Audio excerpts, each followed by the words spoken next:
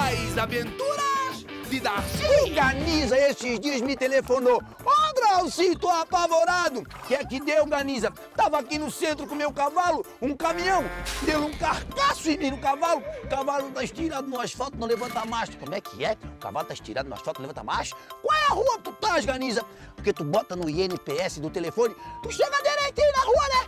Dizer assim, tô na Trompovski. Trompovski? Como é que escreve, Ganiza? Ele desligou o telefone, né, cara? Ele não sabe escrever.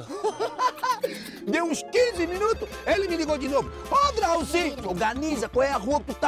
Esquece aquela rua! Nós arrastamos o cavalo pra beira-mar. Ô, querido, o cavalo tem 870 quilos, não tem dente, só come pão doce. Pela aí tu tira.